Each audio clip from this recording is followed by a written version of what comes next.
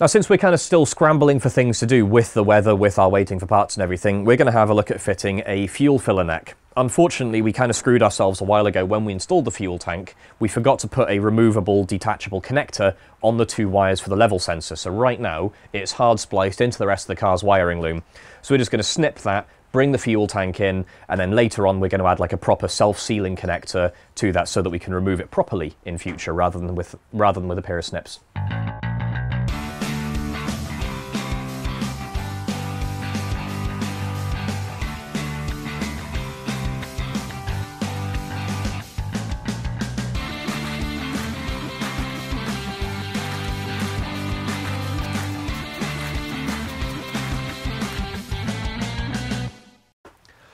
Think this is the first time the fuel tank's been out of the car since we last had it all stripped apart, which feels like at least 18 months, maybe even two years ago.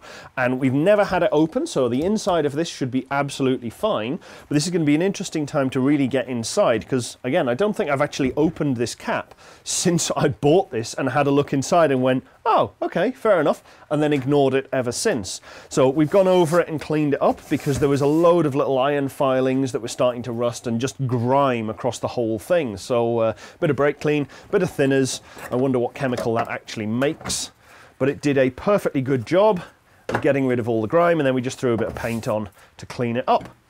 Now this is the new fill port that's going to go on.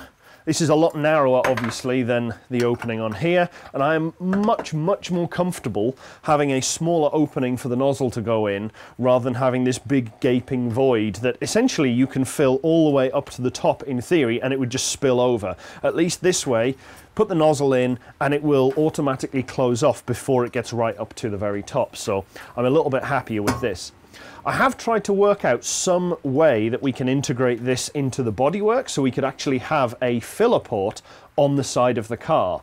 And unfortunately, that is just going to have to be a later problem because I can't find a decent way to do it. We could have one of those um, like surface mount caps, like the old sort of Cobra style, or um, or a Charger where it pops. But having it on the front of the wing, just it wouldn't look good. It would look absolutely terrible. Um, just having that big like wart as you drive along with the car and just sitting and just I don't like the idea of that. So having something flush mount, we'd have to get something that was the same curvature as the body where the wing is at the very top. Again, extremely difficult to do. We'd have to make a recess pocket and all the rest of it. So unfortunately, I don't think that's going to be something we can actually make.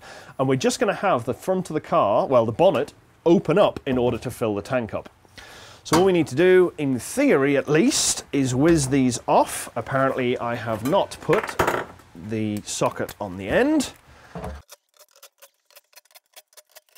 Now we get to see just how bad this is underneath and hopefully not drop any more of those inside. That's actually not bad. It's got a nice little rubber seal that sits around all of these bolts, but I am going to give the rest of this a really good clean before I put the new one on.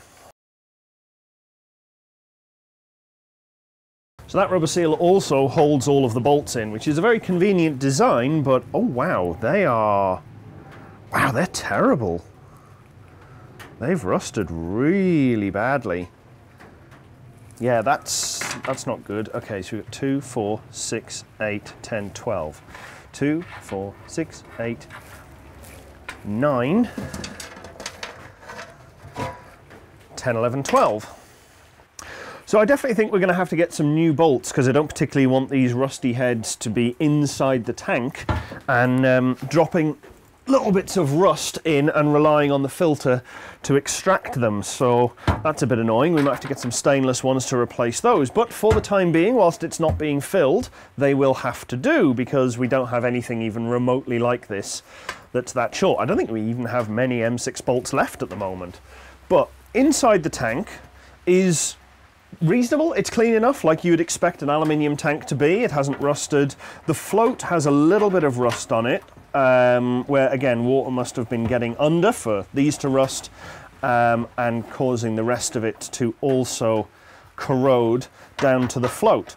The most weird thing about it though is the float is right at the bottom of its travel halfway down the tank. And we've been trying to kind of rationalize this in a sensible way that, yeah, sure, you want it reading empty with some level of reserve in the tank. But given this is a 30 litre tank, if it's showing empty on the float level at 15 litres left, that seems like a lot. Like that doesn't seem like a reasonable amount. I would expect that to be much longer. So it's entirely possible we might end up changing that so that it gets way, way further down to where there's maybe only a couple of inches left before you get to the bottom of the tank where the float is actually reading empty, empty.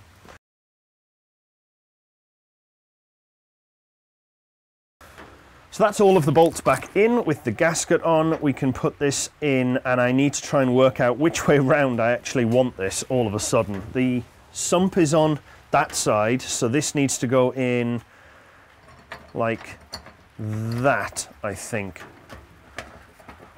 Okay, this is very, very awkward. I do have a small question, which is how I'm going to uh, run these lock nuts on without being able to hold the other side. These might actually need to be swapped out for regular non-lock thread lock um, nuts in order to get any torque on it whatsoever. Chris just suggested putting riv nuts in, which we've solved all of our problems with riv nuts in the past. Um, yeah, I'm going to swap these out for the time being for regular nuts um, because I don't think there's any way that I'm going to be able to hold this in place and do it. Okay, this is going to take some time and you definitely don't want to watch me do this, so we'll be back in a second. Okay, well that is all bar one of the bolts in. I cannot get that one to uh, turn down and actually tighten up. I think the bolt is just a little bit too crusty and unfortunately having all 11 other ones done, I'm not willing to take them all back off again. The powder coating on this part as well is particularly poor. Um, it is just peeling up, so I think at some point this is just going to get aquablasted, get all of the powder coat off, and we'll just run it as raw aluminium um, rather than trying to put anything on it. I think the benefit in order to get these torqued up finally, finally, is to put some lock washers on the other side, some of the little toothed ones that will sit behind the bolt head and bite into the inside of the tank so that when we tighten it down on the top, it will actually hold the other side of the bolt in. And I think that's why there's as much water got in and rusted the bolts because there is no possible way you could have easily tightened up those um, those nuts from the underside, or sorry, holding onto the bolts on the underside and then tightened on the top. At least not for a cheap tank like this. I'm sure there are ways you could have done it, I can think of them offhand, but realistically, they weren't going to happen for something of this price. But on the upside, we now have a much better filler nozzle in I'm sure it's going to get in the way of a bunch of stuff, and I'm willing to bet it might even make it an absolute nightmare to install because I hadn't considered how far this sticks out when I removed it a minute ago to install it. So we might have to take all of this off again. Now I'm actually processing it through in my head, and I have regrets.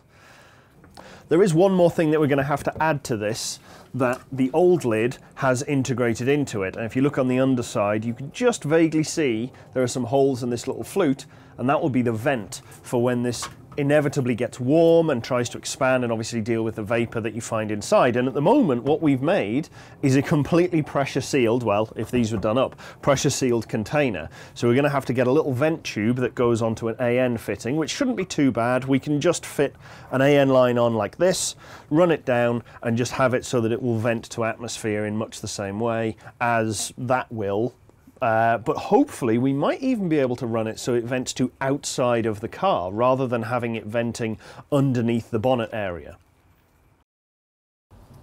And just like that, three months have suddenly passed. Uh, between Christmas and New Year and me moving house and Aid being away here and there and all the weather, it has been an absolute age since we were last here working on the car. And to be honest, we've actually forgot quite a bit of stuff about where we were at, what all the different bits that we had going on were. But since coming back here, we've had a bit of a look around the car and we've realised that while the fuel tank is out, there was some hydraulic bits that we have to finish off after getting rid of our hydraulic handbrake. So hopefully we can have something besides a fuel tank. Well, the problem's pretty simple. A little while ago when we replaced the hydro, we also replaced the brake line that ran down the car because previously the brake line came out of our master cylinder at the front into the hydro, back out of it and onto the back of the car. Obviously no hydro, no join, so we had to put a new line in when we were doing that, we noticed that a much shorter piece of, of um, hydraulic line coming off of the clutch master cylinder had actually been pinched, like been flattened, uh, flattened completely somewhere in the front of the car here.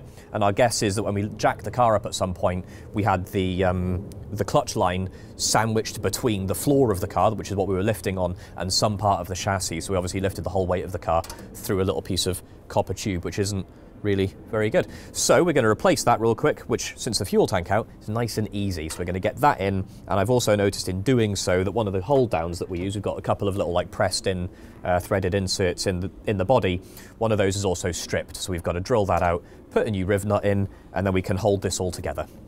All right, so from where the camera is now, you've got a much better shot of where we're getting this new clutch hose. So it's going in from the, uh, I don't know, accumulator or whatever that little device is there, into the top of the clutch master cylinder. So we've got a hose that we've bent up roughly into shape, just going to do a quick test fit. It's quite awkward to get in here from, uh, from outside with the car this high in the air, which is why I'm currently spread across the wing. But that does, I mean, it's difficult to say because the thing's not really sitting in quite the right position, but it's certainly the right length of line. I think we just need to tweak some of the angles a bit and give it another go. We've been backward and forward a few times, and this is the finished final piece of our clutch line. Now, when you're putting these things together with the, all these various different fittings, there are more than two different dimensions you have to worry about. Two that are easy to catch you out are the, uh, the thread size and the pitch, fairly normal stuff. You know, are you a metric or an imperial thread? Are you, like, how many teeth per inch or how many millimeters of pitch are there between them? So we've got one metric and one UNF or something here, if I remember right. It's not super normal to have both, but given that we're like a parts bin deal here. It's fairly predictable. One other thing, though, that we've we've missed a few times, there is a third and arguably a fourth dimension to these that you have to care about. It's not just the thread itself; it is how long the total fitting is. So on here, we've got two different fittings, both the same thread. They'll both go into the same uh, into the same like end users, you know, pistons or cylinders or whatever, but the shorter one here would feel like it had bottomed out and it would feel like it's held nicely into whatever you're attaching your line to. The line would feel solid and everything would be fine, apart from the fact there would actually be no seal. Sometimes you need a much longer fitting like this one here, which is not only a longer thread, which also matters, but it also has an additional snout on the end, so that even when the thread is bottomed out, there's still a bit more metal there, which is actually what presses up on the back of that flare and really produces the seal. The thread itself isn't the seal, it's all in the copper at the end. So you've got to press the copper right down into the, uh, into the device that you're installing this into to get it to seal. So pay attention to the length of your fittings if, you do, if you're uh, ever doing anything like this yourself and don't let yourself get caught out by, oh, the fitting threads in perfectly, so it must be fine. Because yeah, this is not the first time we've made that mistake. So now there are two things left for us to do with this fuel tank. First, we have to put a connector on here where we've had to cut it off of the car because we've managed to like rigidly attach the rest of the wire to it because we're really clever. Second of two, we've got to put this little vent on. Now this has a little safety valve in it, so if we ever go upside down, although we'll have other big problems, at least fuel won't come out of our tank. There's a little ball valve in there.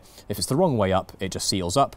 Or if lots of fluid tries coming out through it, it will seal up that way as well. But normally, it will just slowly bleed any excess pressure out of the tank. So I have to get a little adapter for our AN12 to go onto a barb fitting for that.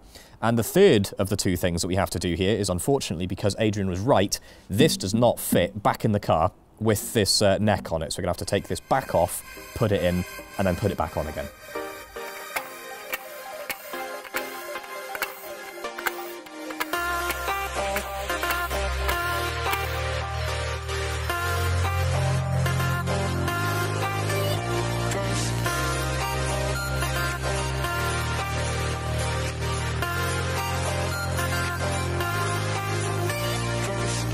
Well, that's the third of our two jobs done. Unfortunately, one and two, the uh, new connector and the vent, still have to wait because we've got to get a few new parts in for those. But the tank is back in, which is kind of a pain, so I'm really glad to have that behind us.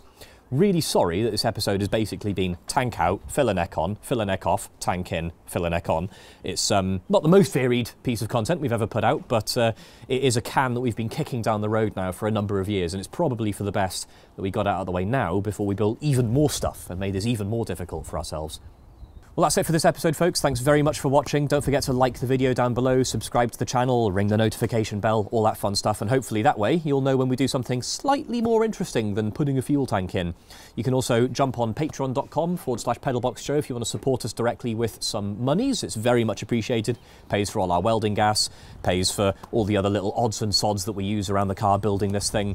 And you can jump on shop.pedalbox.show where you can buy any of the swanky merch that, as usual, I have failed to wear. Ada's just helpfully thrown me a hat, which is perfect for this time of year. We've also got mugs, t-shirts, hoodies, and a bunch of other stuff that I can't remember on there. So yeah, if you want to support us and wear our name a little, you're more than welcome to.